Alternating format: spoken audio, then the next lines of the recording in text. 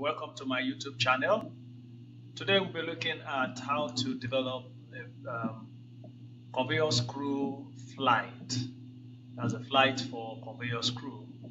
Something like this, the flat pattern for development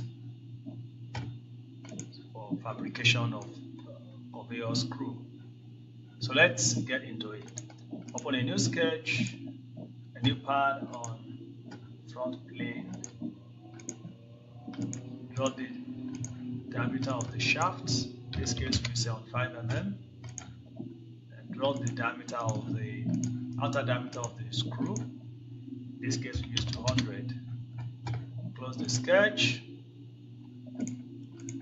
Then insert curve, helical, helix spiral curve from front plane, convert entity,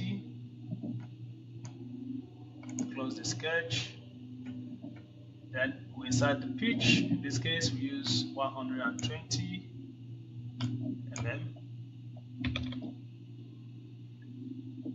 one revolution, the start angle keep it 90,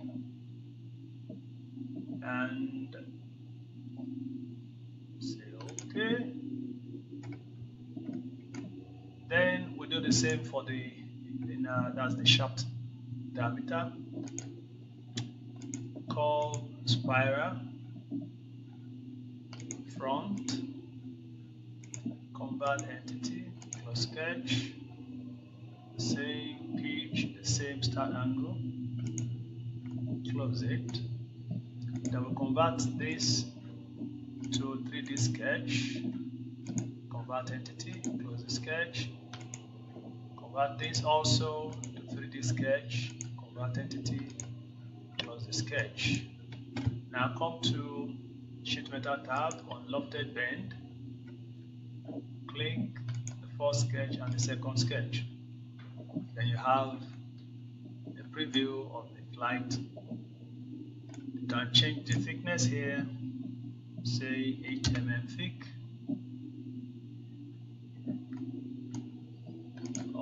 Okay.